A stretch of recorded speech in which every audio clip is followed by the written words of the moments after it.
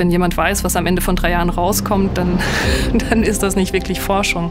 Dieses Institut entwickelt Systeme, die wesentlichen Akteure des Flugverkehrs zu unterstützen. Lotsenarbeitsplätze gestalten. Wie kommt ein Flugzeug von A nach B? Welche Unterstützungssysteme brauchen Piloten?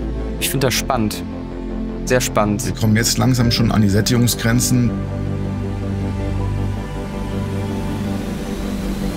Der Luftverkehr wird weiter steigen und wie man das zukünftig sicher abbildet, da gibt es unglaublich viele Herausforderungen.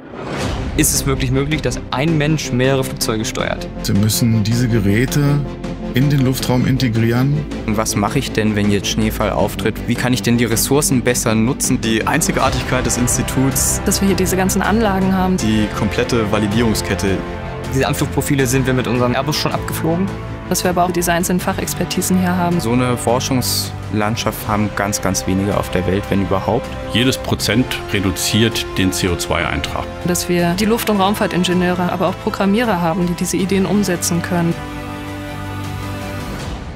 Wir haben viele, viele Mitarbeiterinnen und Mitarbeiter, die richtig Spaß an ihrer Arbeit haben. Wir machen unheimlich coole Sachen.